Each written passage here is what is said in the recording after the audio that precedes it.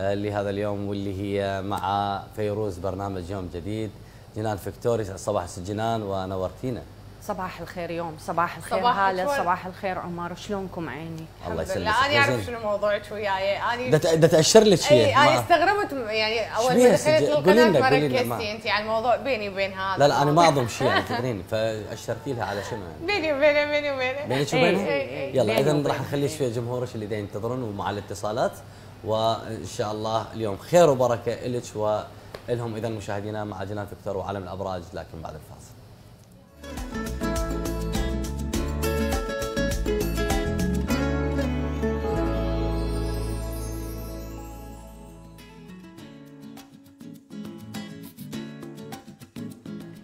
صباحكم أحبتي. أهلا وسهلا بكم ومرحبا وفقرة الأبراج لهذا اليوم. تمنياتي لكم بنهار تملأه البركة والشفاء لكل المرضى إن شاء الله. يا ربي وإلهي نتمنى من كل قلوبنا ذلك. أهلا وسهلا بكم. تحياتي لكل زملائنا في كادر قناة الرشيد. أسعد الله صباح الجميع. أهلا وسهلا بكم. آه، أحبتي هذه الفترة آه، ده يعني يصير أكو فت حركة بالخارطة الفلكية.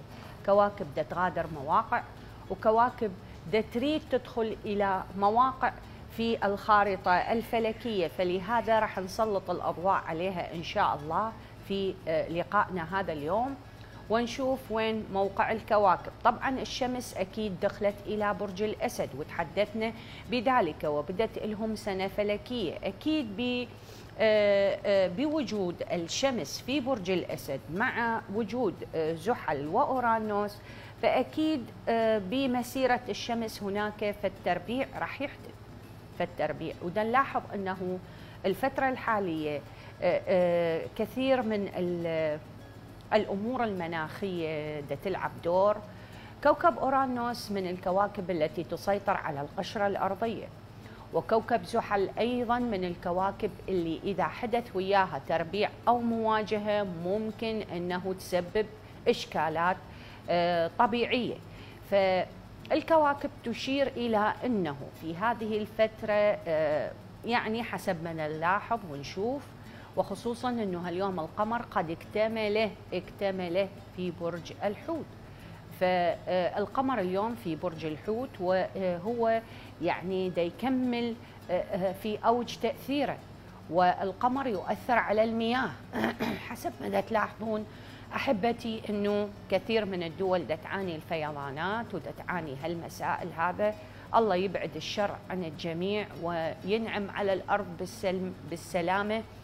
هذا الكوكب اللي آه، دا نحاول جهد إمكاننا إنه نبنيه ونطوره لكن آه، للأسف آه، دا نلاحظ ال- الظروف المناخية والظروف الوبائية اللي دا نعيشها يعني دا تأذي المجتمع ودا تأذي كذلك هذا الكوكب.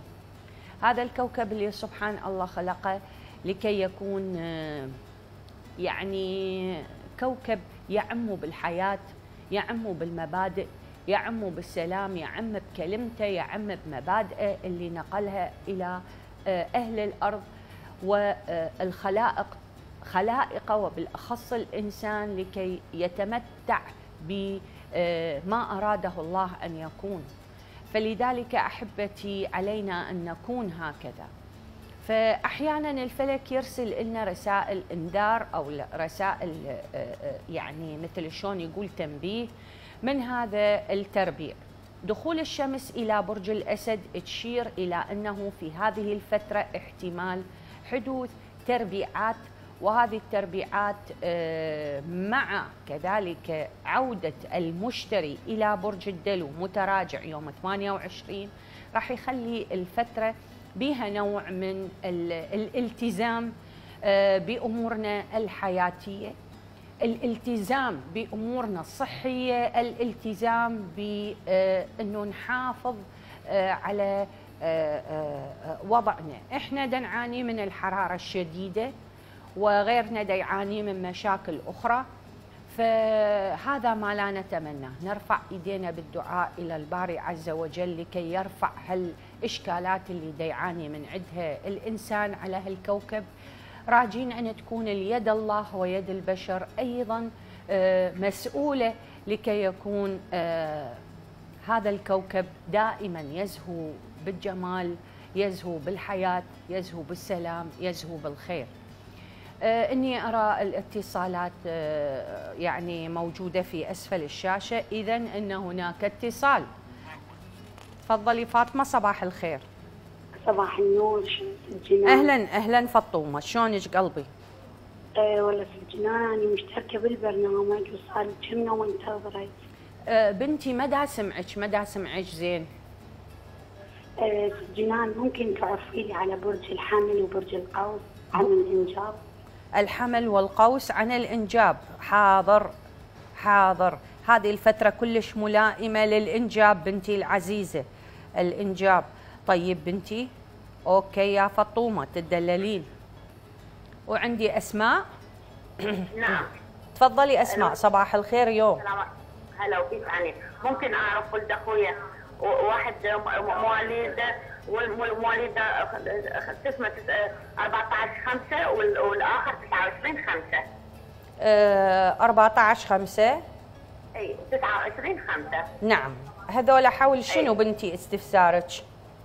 عن النجاح عن يعني حياتهم؟ النجاح آه عن حياتهم؟ الحياة بصورة عامة. حاضر حبيبتي. يعني إي وممكن بس أسلم على عمر. يا قلبي. لعمر أقول له والله تمنينا نعيدك بالعيد بس ما حصلتك تمنيتك تسمعني. وما حصلتك. والله وأنت يعني أنت أنت منور الشاشة. بعد لا لا تغيب على قناة الرشيد. والله. حبيبتي هسه يجي وأقول له هسه يجي وأقول له تدللين تدللين أسماء يا قلبي كل الهلا بيك كل الهلا بيك. آه بعد أكو اتصال آخر. آه موجود على على الجو؟ منو؟ تفضلي يا فاتن يسعد صباحك. صباح الخير في الجنان. مية هلا يا قلبي مية هلا يا عيني تفضلي. حبيبتي. أهلا وسهلا. أهلا بيك. حبيبتي آه، أجي مواليد 94 أي نعم. 19 11 94 أويلي. من ما- أكو رجوع لزوجها من صالحها. فدوى قلبك أريد هاي يعني حل حل يعني متاثره وأريد أعرف حتى ما اتندم هو الزوج الزوج بن حبيبتي آه فاتن مواليده إي. مواليد الجد والستين. هو بالتسعينات 90 إي. يعني يا شهر. برج السرطان هو آه، في الجنان. برج السرطان ماشي أي. يوم. إي. وأنا على صحتي هو ال- الخلاف إيش قد صار له سبعة سبعة ستة وخمسين. حبيبتي يا قلبي آه ال- ال- الز- الخصام إيش قد صار له؟ أربعة أشهر خمسة أشهر؟ إيه، لا لا صار لهم أربع سنين آه، ثلاث سنين متص- مت- منفصلين وهسه دا يريد يرجع؟ إي والله يريد يرجع هسه. هسه تذكر؟ آه، هو هو كان يعني يريد وبعد يعني إحنا صارت عندنا شروط وشغلات وما قبلنا. بس هسه يريد يرجع 28 6 28 ستة هذا ال- الزوج. 90 اي 28 6 تدللي تدللي. مسلمين عليها ال- البنتك عزيزتي وإن شاء الله ربنا يوفقها ويوفقك يا قلبي. تفضلي آمنة. السلام عليكم. مية هلا يا قلبي مية هلا يا عيني. عيني. هلا ومية هلا شرفتيني. آه، آمنة.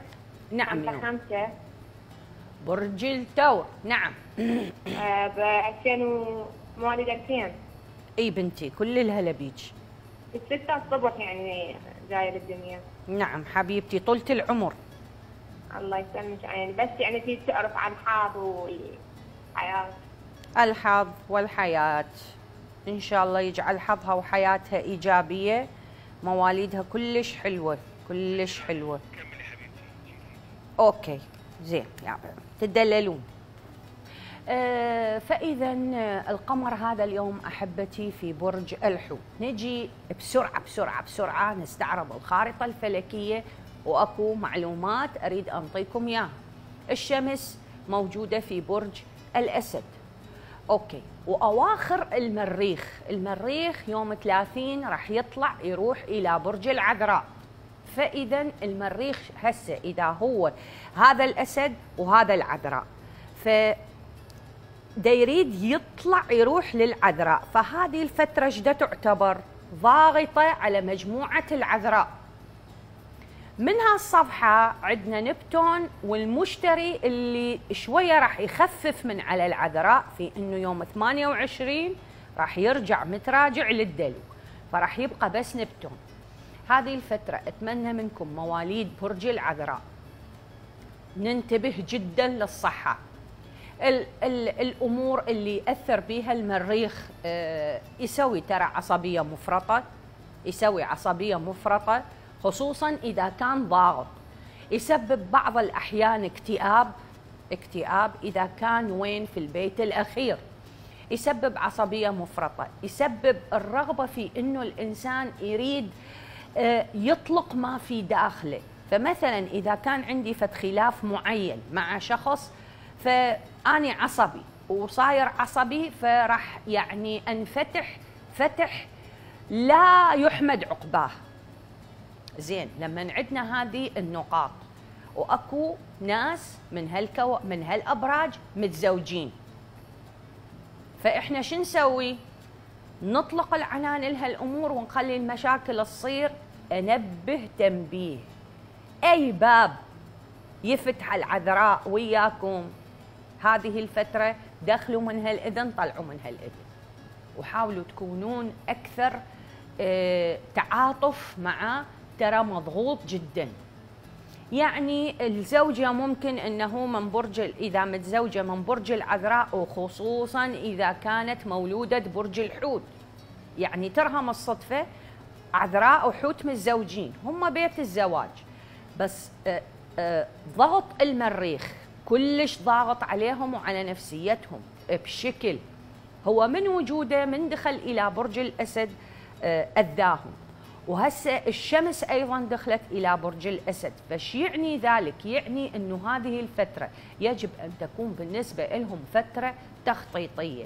حياة الزوجية يجب إنه إحنا نحافظ عليها. عزيزاتي الزوجات شوفوا حتى أعزاء الأزواج بس إحنا نخلي الثقل على المرأة لأن المرأة هي أم البيت ويجب أن تحافظ على البيت. فالخلافات المشاكل لا توسعوها. عرفوا إنه هذا الشخص متضرر. هي مسألة وقت وتنتهي. بس راح ينتقل لهم المريخ راح يكون الوضع شوية أهون. هل كآبة تروح؟ هل الانفعال الزايد يروح؟ هل تحجج الزايد على أبسط الأمور يروح؟ لأن نفسيته كلش تعبانة. أكو قسم نفسيتهم تعبانة. فهالفتره استحملوا شوية إحنا دريت في هذه السنة وفق هذا العلم. أريد أفيد الكثير في إنه ما أريد ساعة عصبية تسبب انفصال. نريد نخفف من هالمشاكل هذه. فإحنا لما ننطي خبر قبل أنتم راح تعرفون فتحتاطون. هذه الفترة لا تصعدون نغمة الخلافات. ويا مولود برج العذراء يا أحبتي المتزوجين. الأولاد شوية راح يكونون عندهم نوع من التمرد ما يسمعون كلام ضايجين. آه، آه، هالأمور راعوا يعني نفسيتهم مو بيديهم. المرئيخ خصوصا عذرا في هذه الفترة ضاغط جدا على مجاميع العذراء. إحنا نحاول قدر المستطاع نوصل لكم المعلومة حتى نستطيع أن نحسن التصرف. لو ما أحسننا التصرف في هذه اللحظة أو في هذه الفترة لا. يعني ممكن إنه تحدث مشاكل. والمشاكل تكبر وواحد يجاوب الله وهالأمور هذه والنتيجة النتيجة إيش راح تكون؟ فإذا حافظوا على بيوتكم. حافظوا على منازلكم هدوء منازلكم سلام منازلكم علاقتكم ويا أزواجكم علاقتكم ويا الأولاد. هذه الفترة أترجاكم مشوها شلون ما يكون. استحمل. هذا هو. لأجل هالمنزل يجب أن يكون مبني. آه إذا آه أواصل وياكم إن شاء الله لكن بعد هذه الوقفة الإعلانية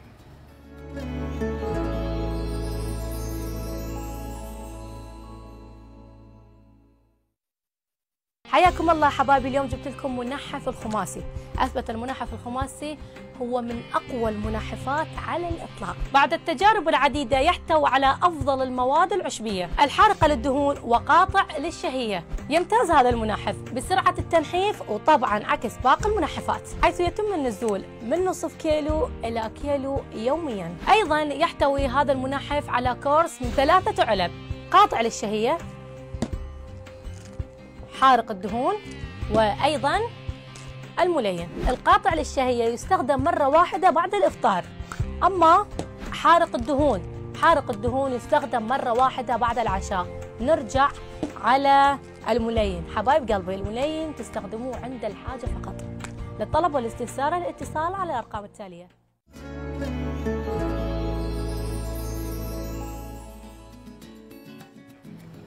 أهلا وسهلا بكم وعودة إلى فقرة الابراج ونتحدث أيضا عن الكوكب اللي آه، كوكبة المريخ. فيا مجاميع العذراء وكذلك المحيطين بمجاميع العذراء سواء كان أهل سواء كان أزواج شوية طولوا بالكم وياهم هذه الفترة. اخلقوا لهم الأجواء المناسبة حاولوا قدر المستطاع أن تخففون عنهم. إذا كان الشخص مثقل أو مصاب بمرض يمكن تكون الفترة ضاغطة شوية خصوصا بالنسبة لكبار السن. يعني كبير السن إذا كان مولود برج العذراء فهذه الفترة ممكن تكون شوية ضاغطة خصوصا وأن القمر هذا اليوم ببرج الحوت فراح يكون ضاغط جدا.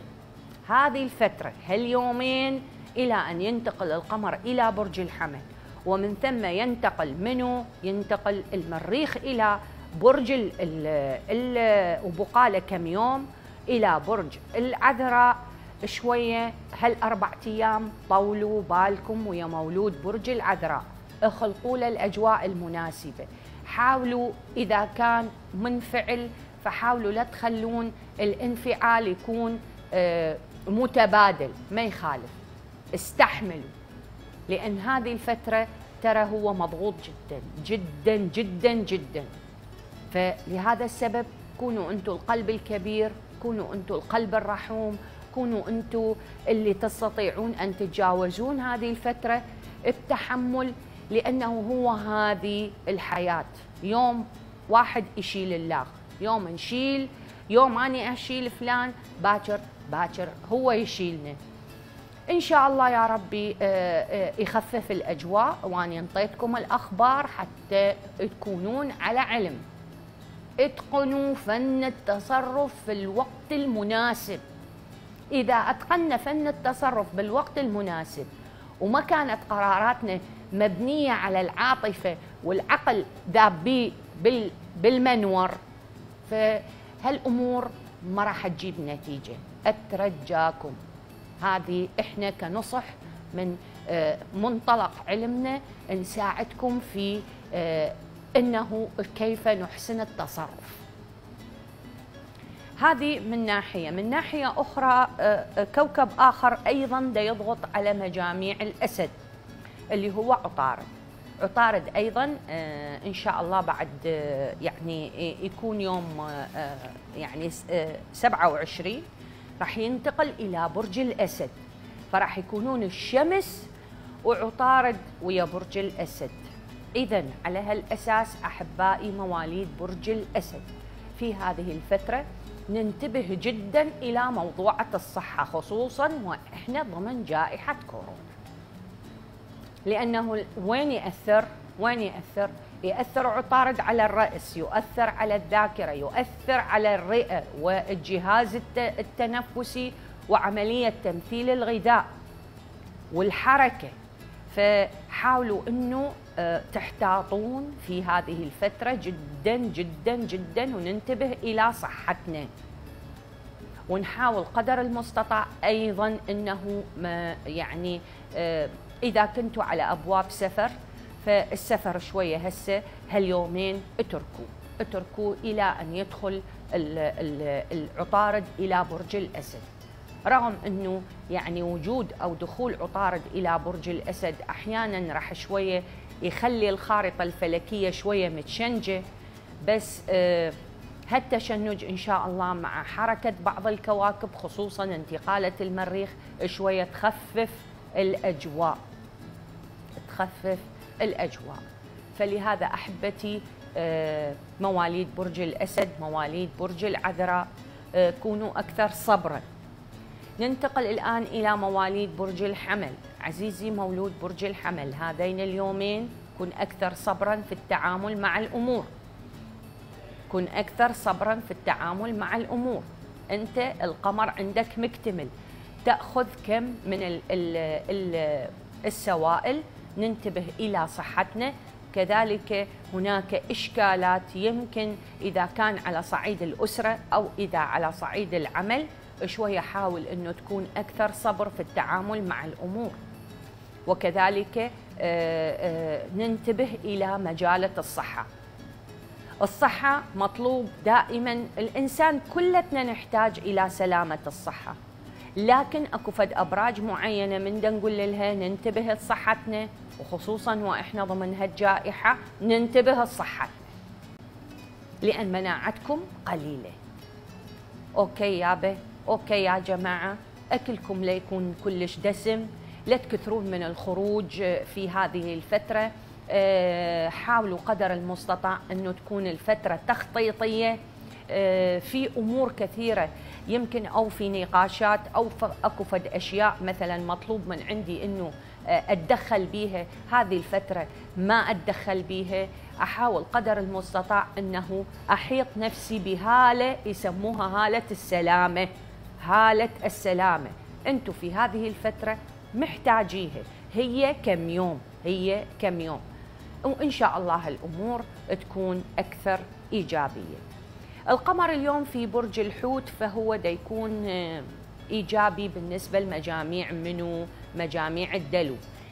شلون بالنص؟ يعني شلون ال- الشيء من الازمه أجي بالدايركت أقسمه بالنص.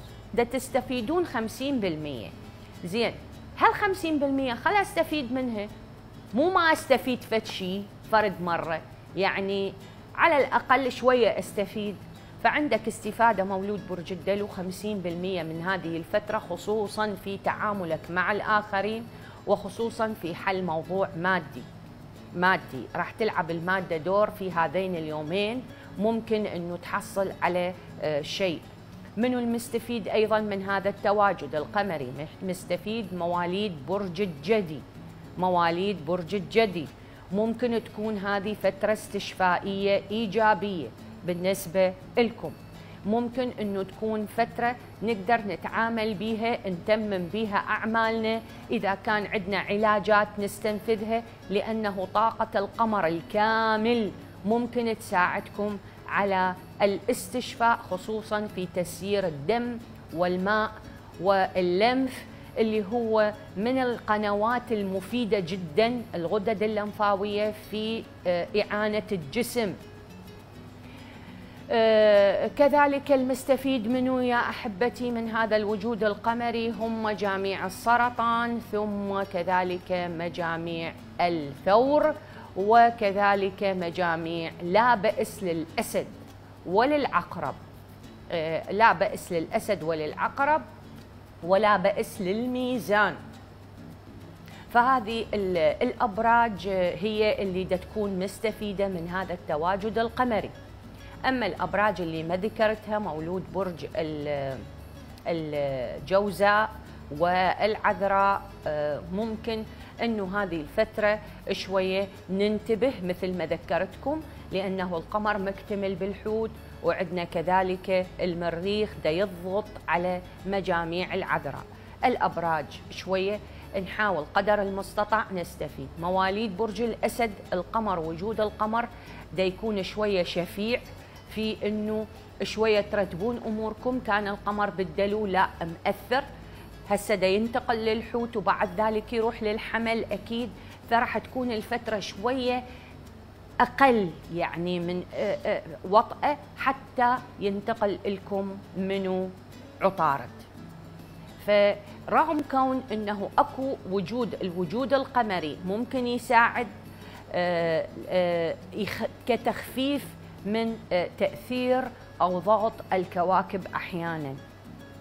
فهذه هي فت خلاصه للوضع الفلكي بصورة عامة. آه، أتمنى للجميع الخير والسلامة. وما أوصيكم يا جماعة العذراء أريدكم تكونون آه، قد المسؤولية. كذلك جماعة الأسد جماعة الحمل أريدكم آه، تكونون قد المسؤولية آه، في هذه الفترة. في الحفاظ على الصحة في الحفاظ على المنزل في حفاظ على الأجواء بصورة عامة. إذا كان عندنا آه، فالتنبيه هناك آه، آه، تنبيه أكو له حلول. أبعد عن الشر وأغني له. يعني هذا آه، مستلزم من عندنا أحيانا. يعني أحيانا في أحيان كثيرة.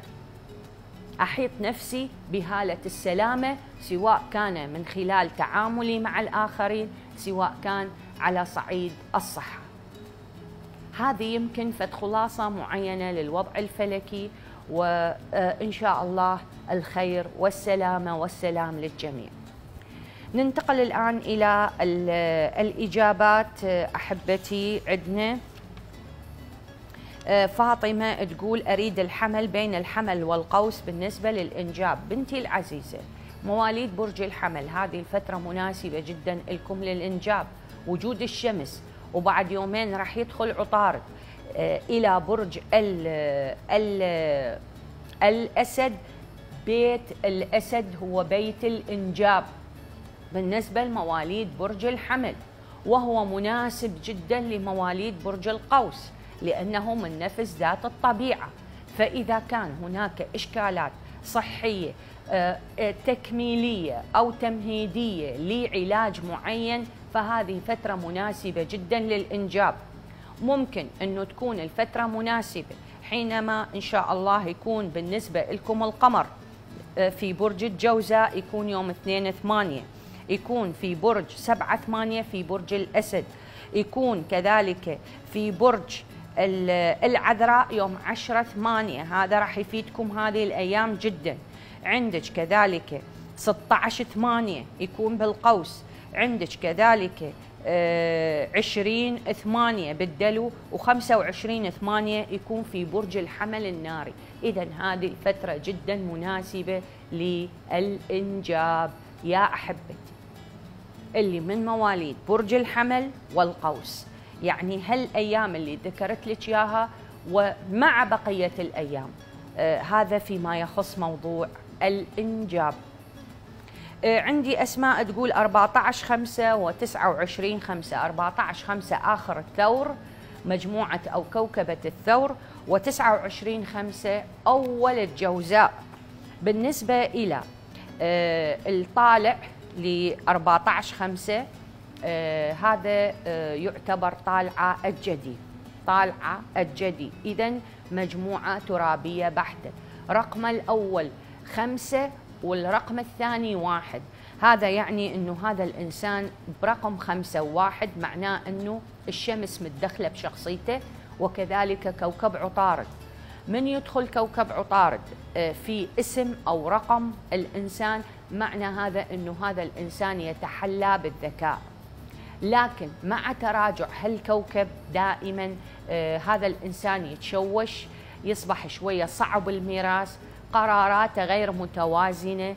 فلهذا السبب آه آه لهذا السبب ننصح إنه دائما العطاردي يتابع تراجع عطارد لأن أحيانا يمكن بوقت تراجع عطارد يخطي خطوة وما تكون ناجحة.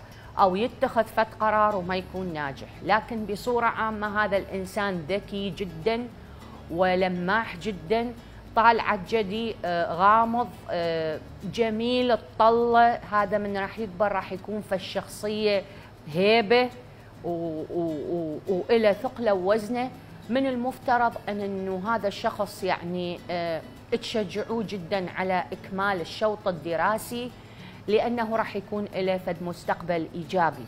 مستقبل إيجابي. بس شوية لأنه طالعه جدي فشوية آه، عنده فد موضوع شوية تشاؤم آه، آه، نسبته شوية كبيرة. فنحاول في تربيته نعلمه إنه كيف يتخطى هذا التشاؤم.